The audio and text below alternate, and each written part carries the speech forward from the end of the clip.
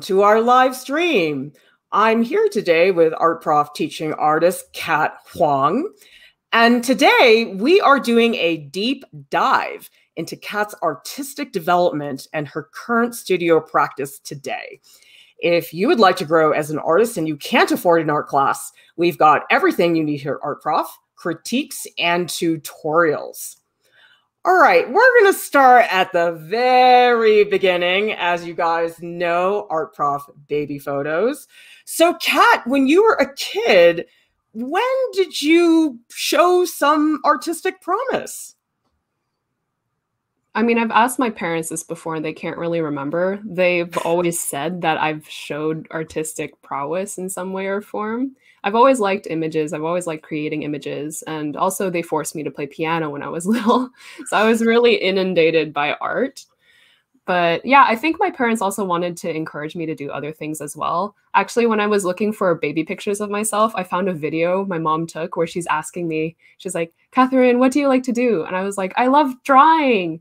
And then my mom's like, okay, what else do you like to do? And I'm like, I like playing piano. And then apparently that's still not the right answer. My mom's like, okay, cool. Now what else do you like to do? And I was like, math? and she's like, yes, good girl. so where do these digital pieces come into play? Because you've been doing digital painting for a long time. I mean, didn't you grow up with digital art? Sort of. So towards, I don't know, when I was like eight, nine, or 10, around later elementary school, I remember that my father got Photoshop CS3. I don't know. I think it was CS3. But and that was when my digital art, digital art really took off. But before that, if actually you go back, there's a she monster drawing that I did, and that was actually done through like AIM messaging because I was messaging my father at work, and there was an option to open up a drawing section, and I drew this for my father while he was at work and he liked it so much he screenshotted it. So I guess like anything, any possible program. Like I remember also drawing in Google Docs. um, so I don't know. I just like anytime there was a possibility for drawing digitally, I took it. But yeah, this Godzilla meets mozzarella picture was really early Photoshop. and manga was a really big influence and continues to be today. When did you discover manga? Absolutely. Again, I'm like kind of hazy about when I discovered it, but I think it was when I was 10 or 11 years old and I was obsessed. Like I started with Inuyasha. I don't know how I got there, but then I was begging my mom like, "Please, let's rent some Inuyasha DVDs from the library for a road trip." And my mom got Naruto instead. That's how I got on board Naruto. It's my mom's fault basically. and Uh, this is all the manga I own, actually. It's not that much, but these are all from childhood and middle school and stuff like that. But manga has been such a huge influence as to how I draw. Like, I started out with fan art, as you can see here, like Inuyasha and this anime girl. I don't know. But if you keep going on, yeah, like, I think that these poses are pretty complex, right? For an elementary schooler or a middle schooler to draw. And it was because of manga, because I was like, I want to be a manga artist. I have to draw backgrounds, I have to draw poses, I have to draw different people. So it really set a foundation for drawing when I was little. And you also were inspired by lots of fairy tales and all sorts of other artists like Arthur Rackham. How did you discover those artists? So when I was little, I was never really inspired by artists, surprisingly, because I was thinking about it. I was like, I was never like, never looking up to any one artist but I was always surrounded by stories. And that makes a lot of sense for my artistic practice today. Like I love creating stories because I grew up on stories. So I read all a lot of books because my parents encouraged me. and uh, they bought Hans and Hans Andersen, Chris, Hans Christian Andersen fairy tales and Grimm's fairy tales when I was little. So I was really obsessed with those. And only later did I realize that Arthur Rackham illustrated those books. Like I didn't care about Arthur Rackham, I only cared about the stories. but yeah, not only books, but also animated films like the early Chinese animation for Monkey King, Sun Wukong. I loved those three films. There were three of them. And I love them so much that I got my friends to come over to my house to watch them, but they didn't understand like Chinese. like I had my little Indian friends come over and be like, "Hey, let's watch. I'll translate, and we're gonna love this film because I love it so much." there were no subtitles. No subtitles. No, they're very old films. Oh, yeah, I love it. And so many Miyazaki films yeah. were influential to you. And how how is this different than maybe the manga and the storybooks?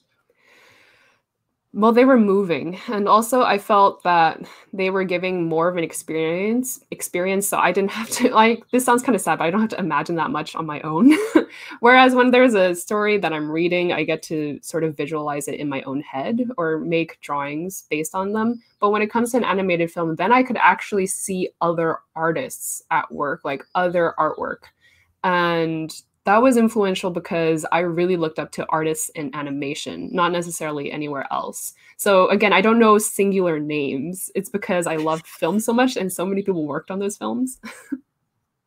and you also started doing cartoons fairly early, right? Like this is this one that you started in middle school. It's this like epic comic book. I mean, this is basically your graphic novel. Yeah, so that's actually a Google Doc drawing.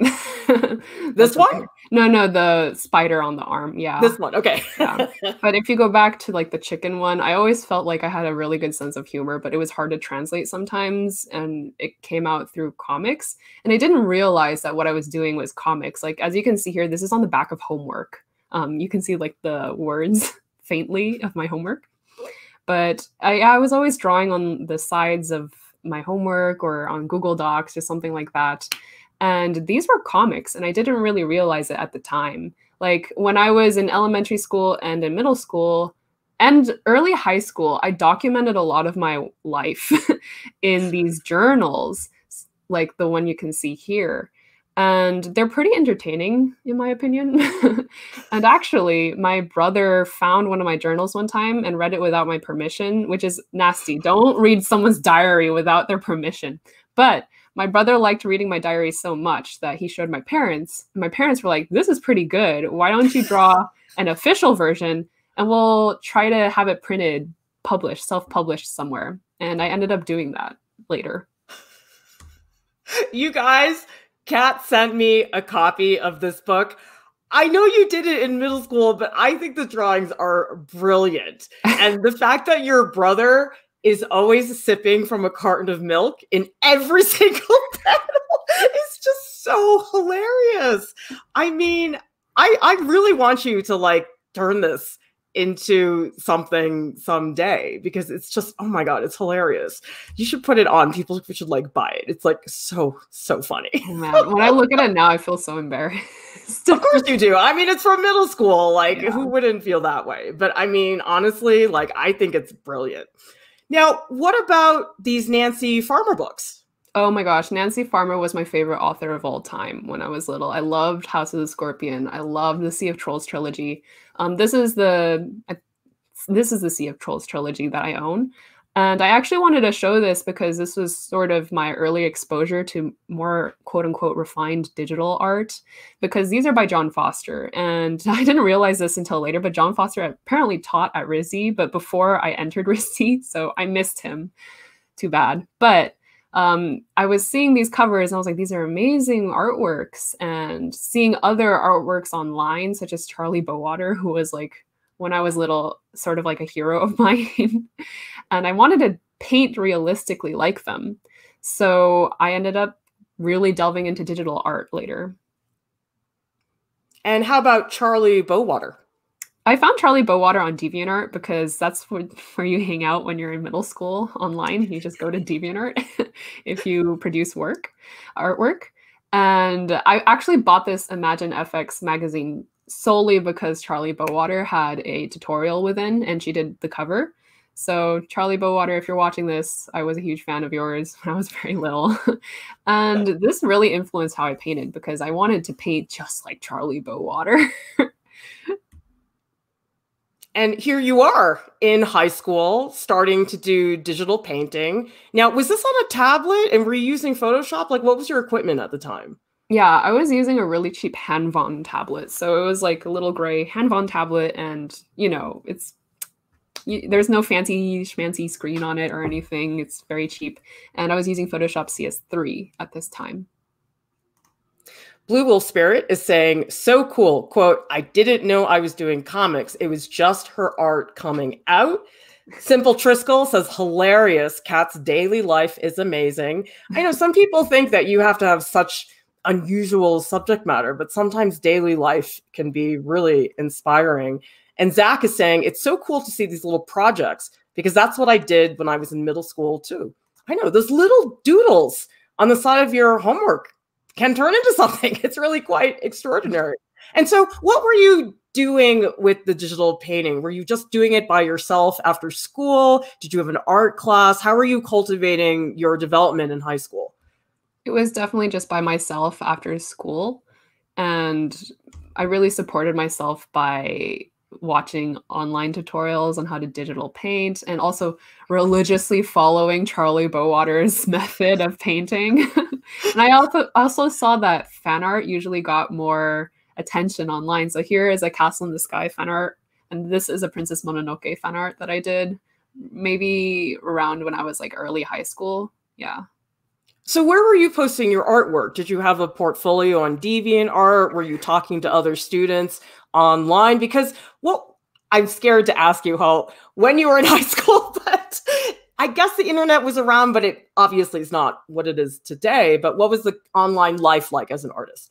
Right. I was always on DeviantArt. So I posted, I had a portfolio on DeviantArt. People can probably still find me today. Please don't go looking. well, you just basically but, invited them to. but anyways, I also had a Tumblr, and I think these are the two main sites I would frequent, but mostly DeviantArt. And I think this painting really changed the game for digital painting for me. I mean, before I was just doing people, fan art, and stuff like that. I wasn't really that serious. But when I turned 14, my parents got me a fancy tablet, like a Wacom Cintiq, because they saw how much I I was doing it, and they thought this is a worthy investment to to support. So they got me a, a, a Cintiq when I was 14. And I was like, I need to prove to them that their purchase was necessary. And so actually, this was a piece I, I did um, when I first got that tablet. Because I was like, they're not going to be proud of me if I keep doing Princess Mononoke fan art. I should probably do something a little bit, I don't know, their taste. So I created this kitchen painting and then I got a daily deviation on DeviantArt for those of you who know what that is. It's like sort of an online award feature but that's when things really took off for me and i was like yeah i can keep doing this and i don't know just do do it well. Well how did it quote take off for you? Were you just getting a lot of comments online or what was going on? I was definitely getting more exposure because as a daily deviation you're featured on the site and then people you get more traffic on your artwork basically. And i thought wow like i I can maybe I can be Charlie Bowater, at least my version of Charlie Bowater. And so I started doing digital art in different ways. As you could see previously, I did more cartoons, I did more colorful things. I really tried out different ways to do digital art and also submitting them to competitions. So that kitchen painting earlier was also the winner of like this art competition that reprints the artworks super super big on doors in the downtown area. And it was cool to see that like really blown up version of this painting. I was like, whoa, this is crazy. so even with all this digital art, where does somebody like Anders Zorn come into play? I went to an Anders Zorn exhibition when I was around high school. And I was like, this is amazing. And I also want to do this. I mean, when I was in high school, I wasn't really sure what I wanted to do. Um, as long as I could try doing it and do it well, I could pursue it. So I tried oil painting and that was also like I I started when I was young as you can see here. But when I was in later high school, I had to create an AP portfolio, so advanced placement art portfolio, and my concentration was portraiture. And so around ages 16 to 17, I just focused on oil painting now, where were you doing these oil paintings? Because I think your average high school kid usually, number one, never gets to oil paint, and number two, doesn't usually get to work with real live models. And so, what was the scenario? I would either oil paint in the living room of my parents' home or in the garage. Um, you can tell which ones are painted in the living room because the backgrounds are so much nicer. But for the ones painted in the garage, the backgrounds are just like made up or just crap, you know? But as for the live models, they were actually my mother's students because my mother is a teacher and also my friends from high school. And usually, when people are asked to sit for a portrait, that's not a normal thing. And of course, they're going to be flattered. And of course, normally they're going to say yes. so that's actually how I tricked, I roped a bunch of people in to sit for me for so long. This is a portrait that I painted in my garage. Can you tell? But, anyways, um, that's how people sat for my portraits, is because they were flattered and they wanted a copy of the portrait after I was done with it. And so, were you doing art all the time in high school, or was it just once in a while. I was doing it as much as I could. I would like to say all the time, but you know, I had other studies. But something that was interesting that I realized after leaving high school and middle school and elementary school, even, that I never felt adequate or good enough in any one subject. But when it came to art, I felt like I was good enough. Um, even piano, I mean, that's honestly a big reason why I quit. It was because I was all right, but my brother was clearly much better than me. More. Okay, I just like, need to put things in perspective for you guys because when Cat says she's quote all right, that's relative, you know. and Cat came to my house. I have a piano, and she's like, like she's like playing fantasy improv. So like, okay, whatever, Cat. You're like crazy good at piano as well. So just want everybody to really understand your your actual level of piano playing. So, what about art school? How did you start thinking about that? Who planted that idea, or was that your idea? I started thinking about art school when I was 16 because I went to the summer program in CalArts, um, the California Institute of the Arts, which is an anime. Well, it's not an animation; it's an art school, but it's really known for its animation. And I went to its animation program, and that was actually when I started doing figure drawing. And it really opened my eyes as to how many amazing artists there are out there because I've kind of been trapped in my own bubble this whole time. Like, I'm like Charlie Bowater and digital painting and oil painting. Like, I'll be the best of the best. But it's not really that true because there's so much art out there. There's so many kinds of art that I haven't tried yet. And going to CalArts for their summer program opened my eyes to college life at an art school and that was when i started realizing like oh i'm going to graduate high school so i should probably think about what i should do after high school. And i started looking into art schools around this time. And how did you select the schools that you applied to? Were you i mean you eventually you landed at risd but was risd your top choice or did you have other plans in mind?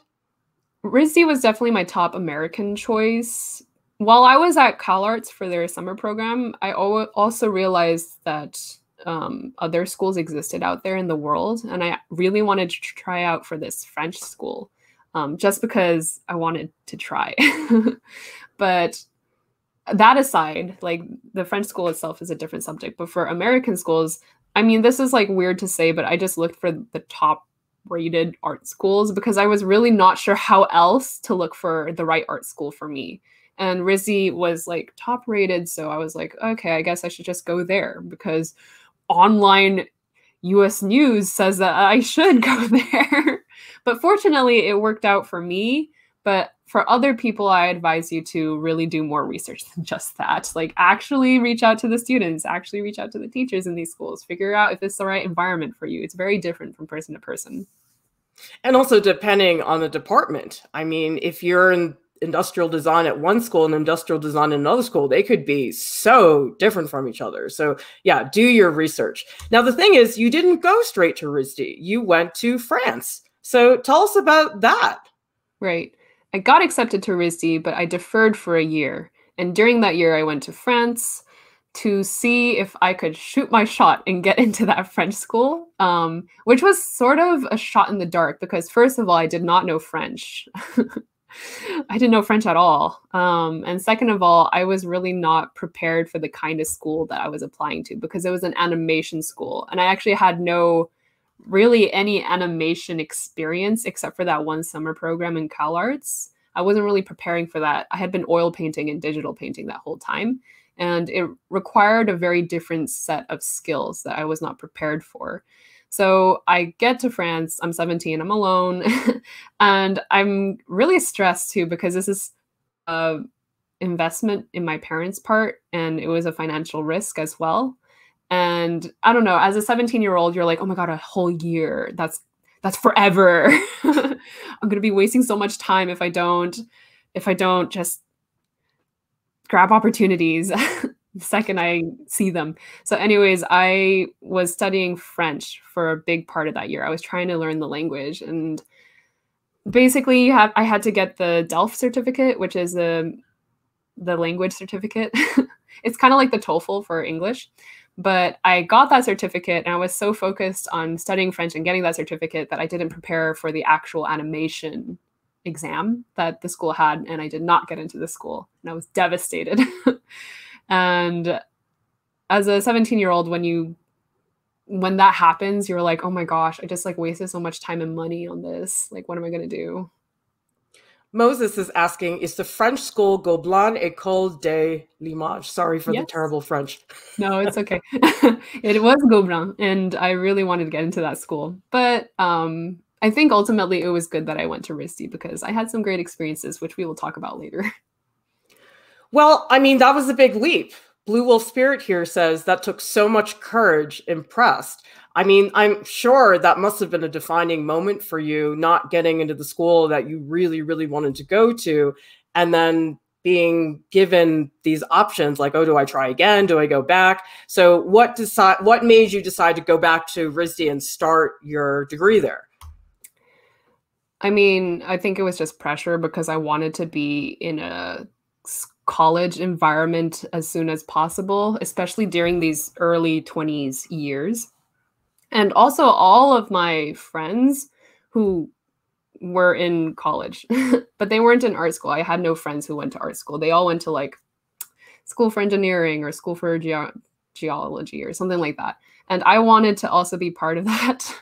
I didn't want to be that outlier who was just like kind of bumming around and not in school, you know? it was just pressure. And I mean, ultimately it did work out for me, but you know, I would advise for people like it's fine. Don't you don't have to worry about if you're in school or not. You like you don't have to care about what other people say about you because it doesn't matter. what matters is if you grow as a person, no matter what circumstances you go about doing that with.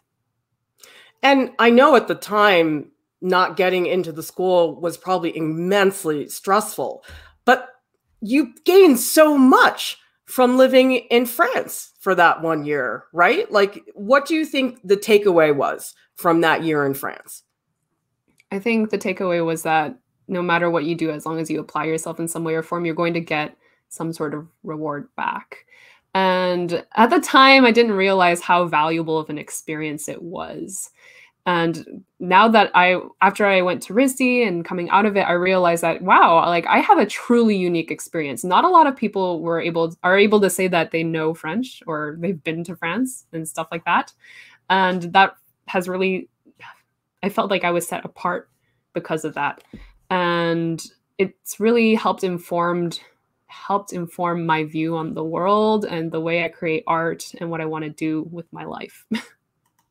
Yeah, Karen is saying a year abroad itself is invaluable. Absolutely. I mean, I always tell people if you have any chance to go anywhere, just go, unless there's a really compelling reason why you can't go. Like maybe you can't afford it, but you learn so much when you travel. And I don't think a lot of students have gone to a foreign country totally on their own the way you did. I think a lot of people will go through a study abroad program or maybe doing an exchange thing or something like that. And so I think what you did was truly different and at such a young age. I mean, a lot of people don't do it till they're like a junior in college. So I think that's remarkable that you really pulled that off.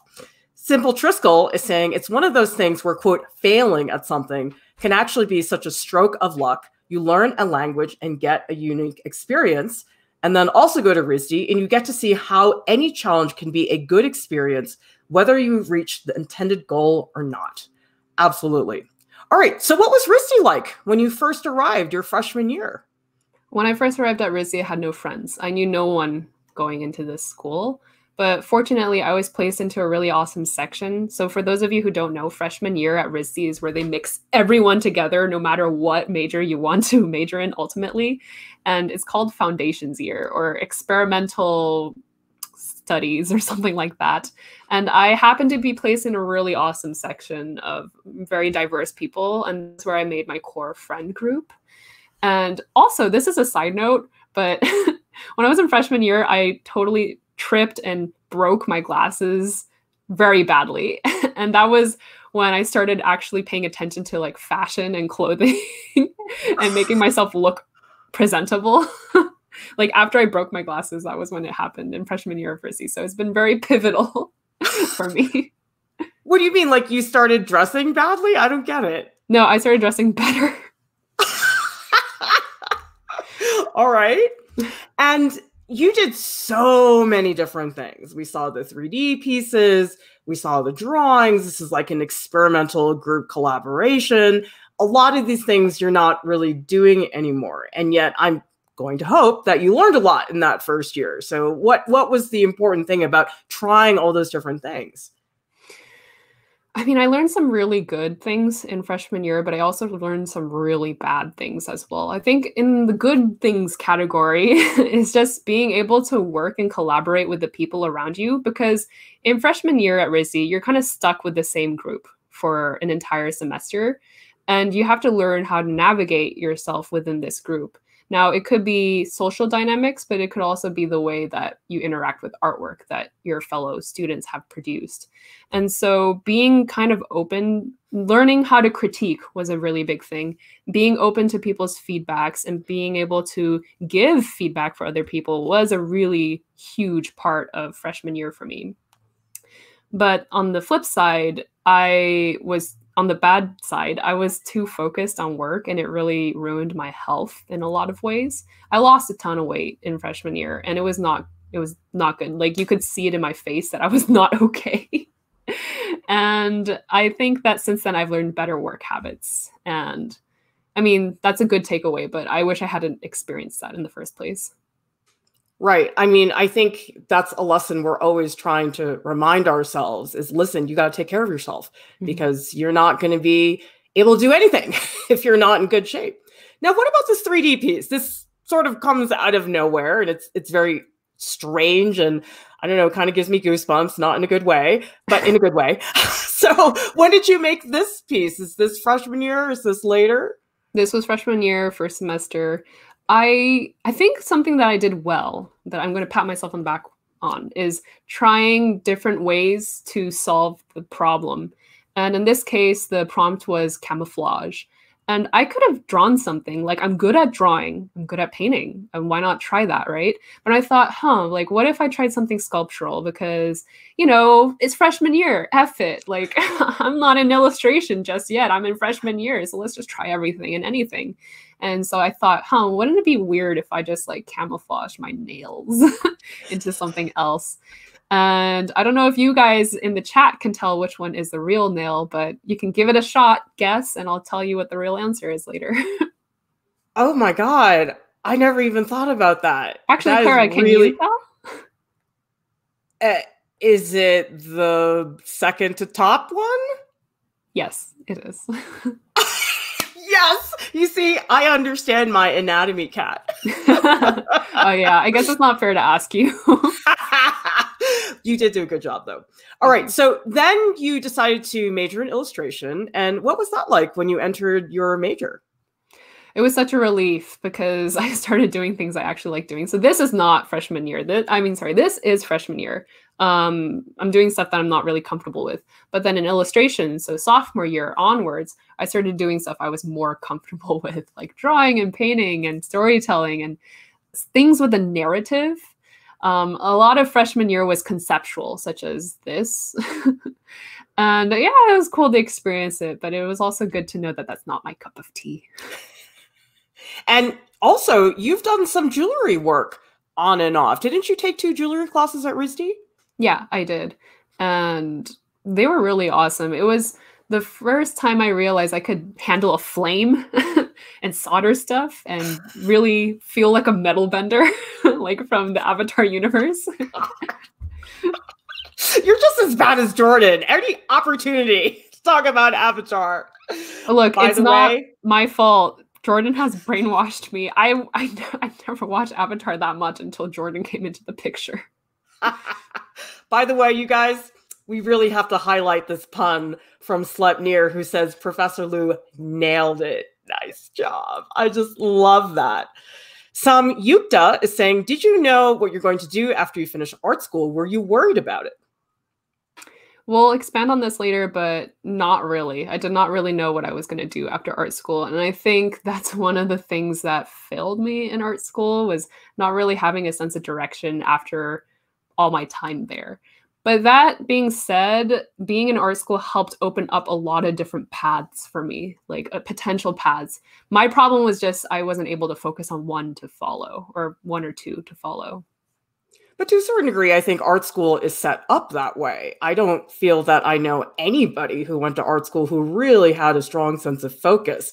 And while that is not the best thing for professional development, I almost feel like that's really the one time in your life when it's okay to be so scatterbrained. And so part of me understands that, but I also sort of feel like you need that time to just mess around. Mm-hmm. Okay. And then you had me sophomore year. A lot of these pieces we're looking at are from sophomore drawing one. And then you and I started collaborating on Art Prof, and also you were my TA for one semester as well. So, how are the last few years in the illustration department for you? last few years of the illustration department were really good for me and i lucked out. Like i was very lucky in terms of it being a good experience for me because how it works is sophomore year you don't get to choose your teachers. I randomly got clara lieu as a professor and that really changed the game for me personally. So it's been really it's been truly a lucky ride but as I progressed through illustration, I felt like I was a video game character leveling up as each year went by. because, you know, I started RISD freshman year knowing no one. I had no friends. I was kind I was pretty alone. But by the time I finished RISD, I had my groups of friends. I was really involved in in the school and the student body. Like I was also department representative and I was a, a lot of things. I took on a lot of roles that really helped define my RISD experience in an awesome, really good way. I also think the fact that you were an RA and that you were really in the community as a very positive, uh, generous person, I think that that itself is a skill. And I wish that art schools would acknowledge that more because so much of being an artist is not just making the work. People think you can just make the work and be done with it. But actually, your relationships that you cultivate with other people can be just as important, if not more, than sometimes yeah. the artwork, actually. And so I also saw when you were a RISD student that you had a really good group of friends that were very close. You guys all related creatively. Talk about why that was important to you and still continues to be today. Right. I think that's going to be important to you whether you're an artist or not. Like, this is my friend Julie Bassett. we see her from time to time on Art Prof. Another person we see on Art Prof sometimes is Natalie Lynn, who's also a really good friend of mine. And they've really just been my support system whenever I feel down, whenever I needed help during art school and it was kind of a I don't know, it's like always a guessing game as to who's going to be your friend. It, your best bet is just being nice to everyone and then eventually finding out who's going to really s- stick with you through the hard times. And very luckily for me, I did find that support system in art school. And they still continue to be a support system. Like they also exposed me to a lot of different things like Julie has really showed me a lot of podcasts. Like I've never been a big listener of podcasts before, but she started me on that. And I think that's been really informative of my art because whenever I have a specific concept or an idea, sometimes those podcasts can really just slip in and and inform things. But support system, opening your eyes to different things, friends are great. you should make them. now, you also did have more of a focus in your later years at RISD? Because I know initially, because you were wanting to go to Gobelins in France, you did have this interest in doing animation for a long time. But then I know that at some point there was a pivot where all of a sudden you got really into comics. So talk about that transition because I know that wasn't really the easiest transition. Right. I think what cued me off as to why I shouldn't continue animation was because I my work ethic and the way I drew didn't really suit animation because animators draw all the time, very frequently, often. And that was also a big reason why I chose illustration over animation at RISD. It was because in illustration, I had more things to discover. And also, they provided really good foundational drawing skills. Like you can actually go to figure modeling stuff. and in illustration, I could still sort of look at animation if I was interested in it. I just didn't happen to be at RISD because I found comics. Now, what really got me into comics was this was this class that I took. Um, and I wasn't even going to take this class. The reason why I took this class was because I had reached out to an older student and I was like, what should I do in illustration? What should I do that and anything that can help me, anything, because I don't know anything at RISD. I'm alone, I don't have friends. And that person said, You should take this comics class because even if you don't like comics, the teacher's really good. And I decided to take it. And you know what? Now comics is all I do. so again, it wasn't really a conscious decision. It was because I was talking to people and they were recommending things for me. And I was like, okay, let's follow this advice. Let's see where this leads me. That's one piece of advice I give to students is that when you go to college, don't pick your classes based on the topic, but on the professor. Because you could take a subject that you think is your favorite thing, and if you got a crummy professor, it's going to be terrible. And a good professor can get you excited about anything. And so that's really amazing is that you took this leap of faith on something you didn't have a lot of experience in. And look at what you're doing now, which is comics almost all the time. So let's talk about leaving RISD and graduating. It's a really emotional time for a lot of people because for a lot of people, it's their first time out of school. What was that transition like? And for you, it's fairly recent. You graduated not this past year. Was it 2018 or 2019? 19. 2019. Okay. So you're a fairly recent grad. And what has that transition been like for you? When I graduated, I was very sad. Yeah, can't help it. Oh, because as I said before, I was sort of like a video game character leveling up as each year went by at RISD. And by the time I left RISD, I felt very secure and solid in my community, in my RISD community. And to leave that community was a really tough thing. I cried a lot of tears. I was very sad. Luckily for me, and this isn't the case for everyone, and it's fine if it's not the case, but I did have an internship when I left RISD. And that internship lasted a few months. So that was what I could focus on. I didn't have to think immediately about leaving my friends and uh, the RISD area because this internship was also in Providence, Rhode Island. So I was so close by. So I focused on that for a few months. But after that internship, I made the decision to move back home. And that was also a tough decision because I don't know why, but people are always moving moving to New York after graduating art school. I'm like, why are you doing this? Because it's so expensive to do that and also like you have no solid job prospects. And I was going to move in with two other two other women and we had an apartment down. They signed the lease, but at the very last moment I backed out, which is such a jerk move on my part. And I luckily we're still friends because we found a third roommate for them, luckily. But I think that was a really good decision on my part because I didn't have a job in New York. Why would I move to New York? So I decided to move back to my parents' place in the meantime.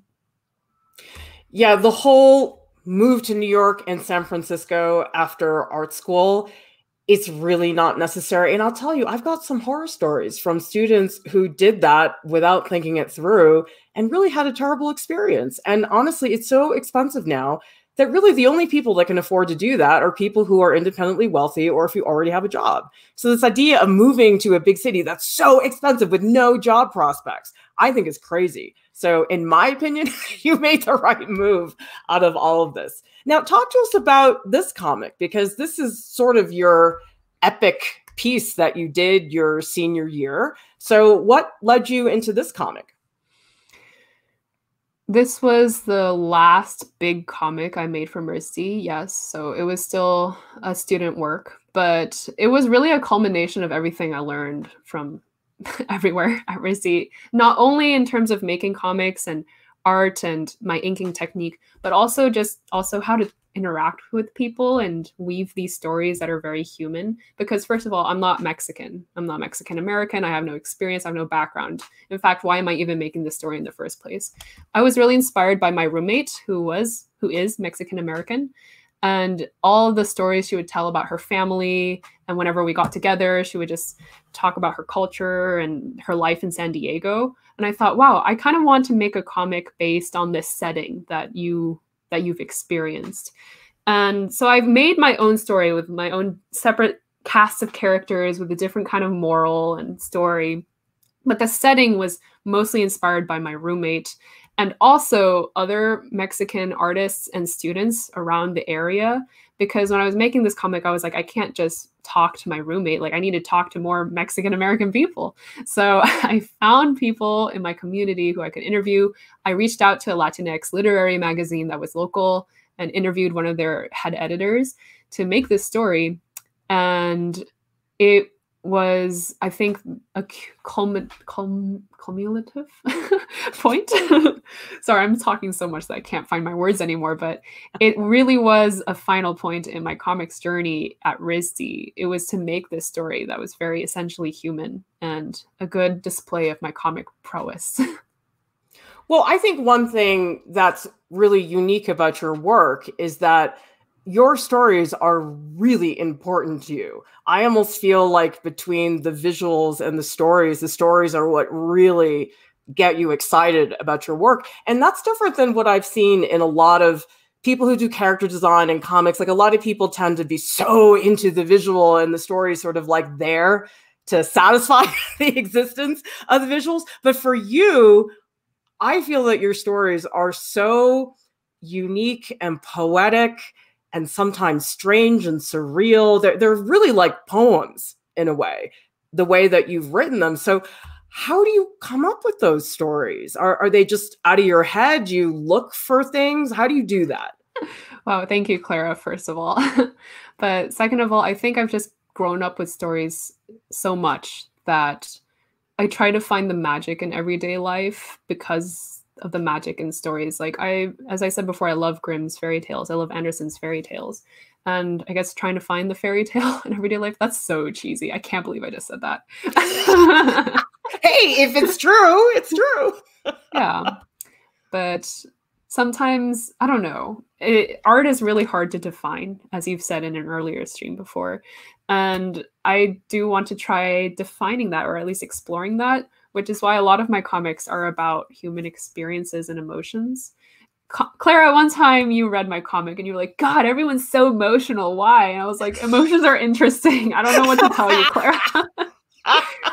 but I don't know. When I see something really beautiful, like a gorgeous landscape or a beautiful piece of music, I'm thinking, how can I translate this visually? How can I deliver the same emotions I'm feeling now in a story.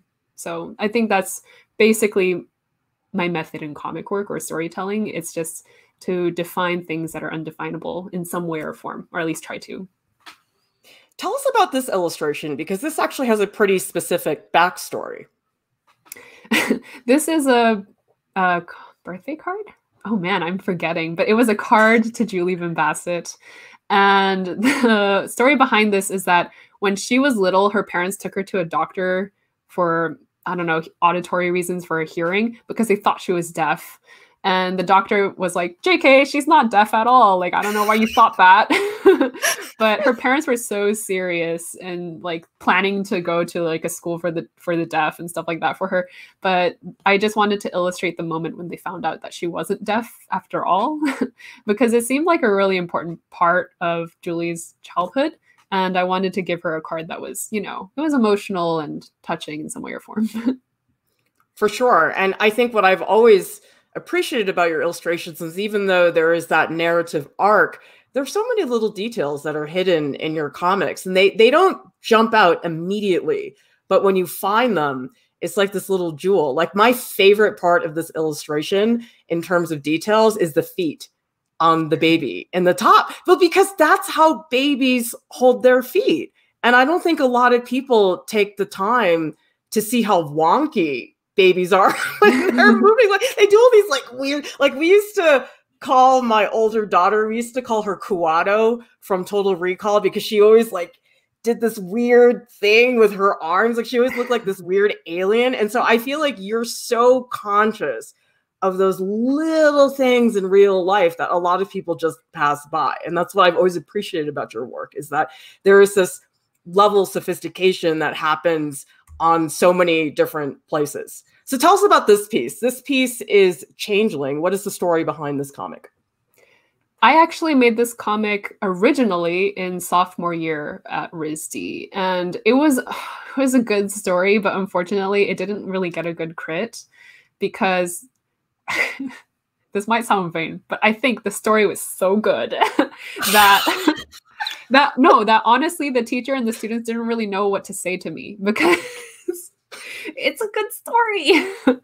but unfortunately, I was on a deadline in sophomore year, so the drawing quality really wasn't that good.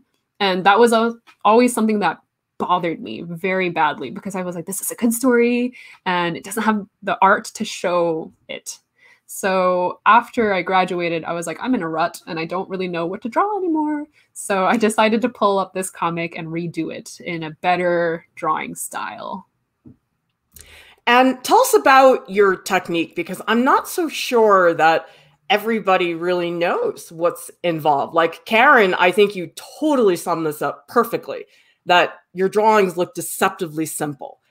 They look that way, but there's nothing simple about your drawing process. So, can you tell us about you and your inking technique? Because it's really extraordinary.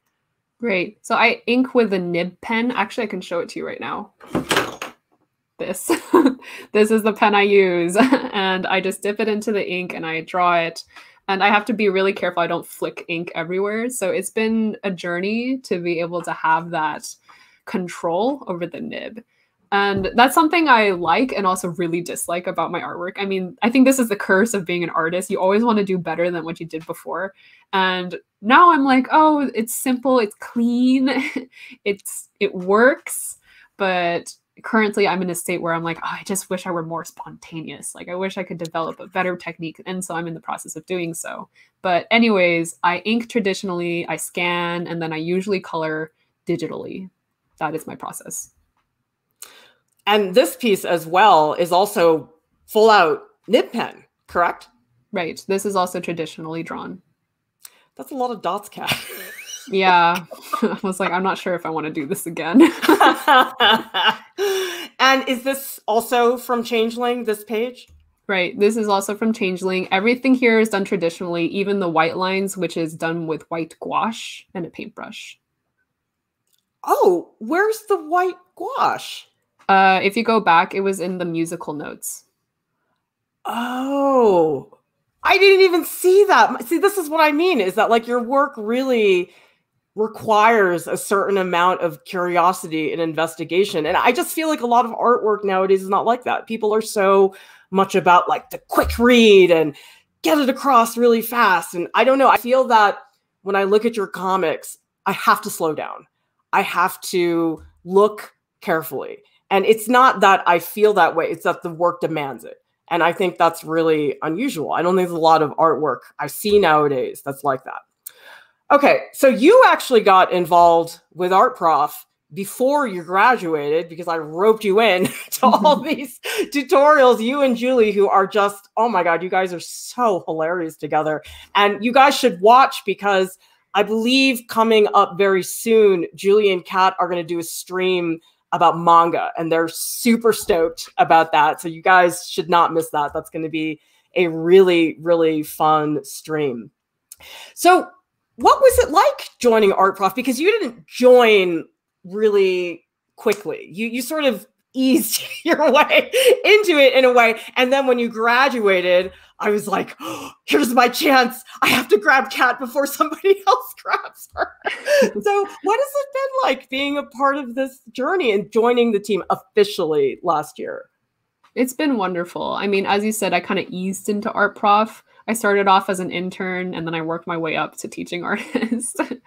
and I think the biggest takeaway from Art Prof for me has been the community. Like everyone in the chat, Clara, the TAs, and having again that's a, a sort of support system that I have. Like being able to talk about art in a space that of people who are in the same wavelength as me and that's something I'd really thought about after I left high school. I was thinking, why didn't I why don't I ever remember high school in a good light? Like why is it never positive?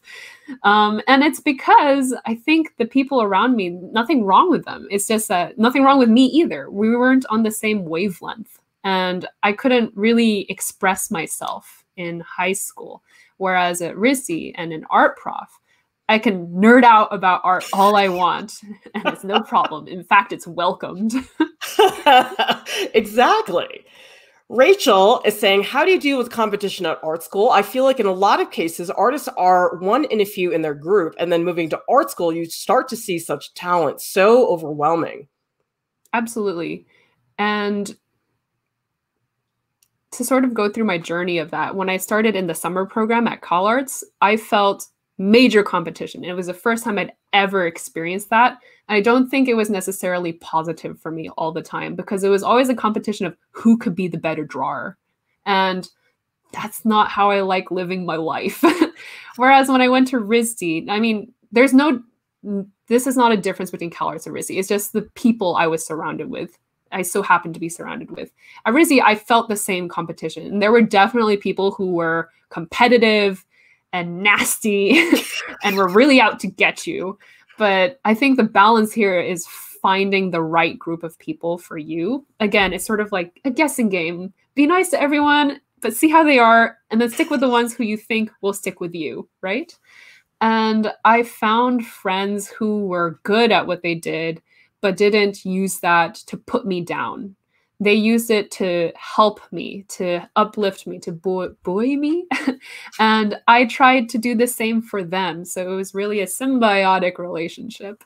And that's what makes or breaks art competition and how it affects you.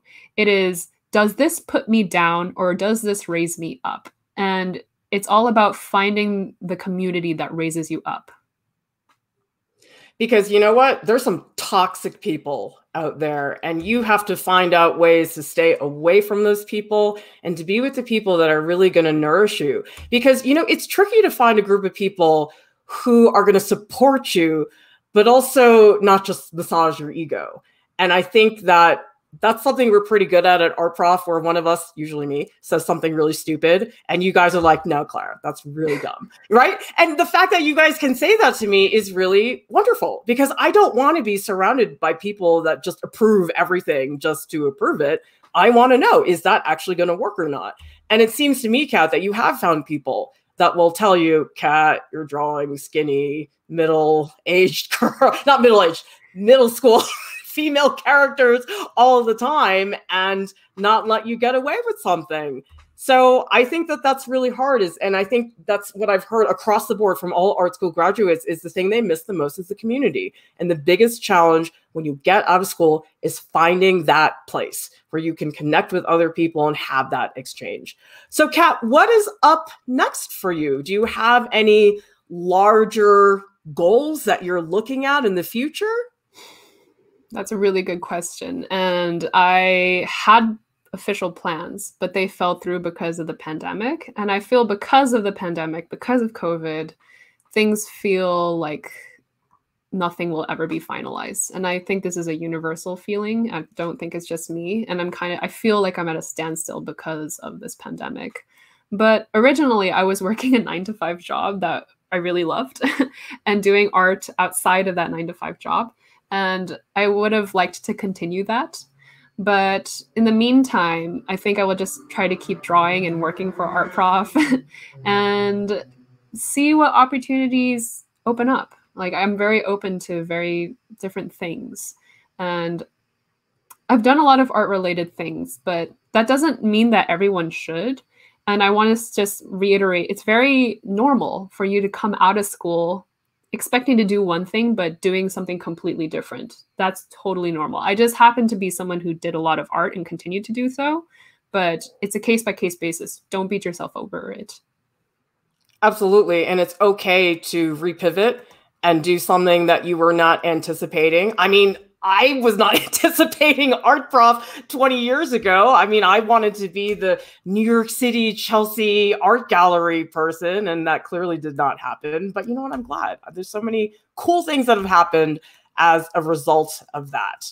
So we're excited to see where you go with that, Cat, because you know you're kind of awesome. So um, really fast, just because Blue Wolf Spirit has asked, but in the Changeling comic, yes, the notes can be played. They play um, "Stairway to Heaven" by Led Zeppelin. Why "Stairway to Heaven"? I love that song for some reason. I just think the lyrics are magical, and I love the imagery of stairs going up to the sky. It's something I've used not only in Changeling but also Mama Bruja. So again, I just kind of pull things from everywhere and try to put them into my comics. So Stairway to Heaven is something I think will just keep reoccurring in my life. I don't know, maybe. Art Prof has a podcast. It's available on Spotify and also on iTunes. Cat and I will be hanging out in the post live streams channel in the Art Prof Discord. Please join us. The invite link is in the video description below. Subscribe to our channel and join the Art Prof family. And thank you so much to our top Patreon supporters for keeping everything up and running. Thank you to everybody for all your great comments, your questions, adding to the discussion, and of course to our fabulous teaching artist here, Cat, for dishing on her artistic life. Everybody, thank you so much. We'll see you next time. Bye bye.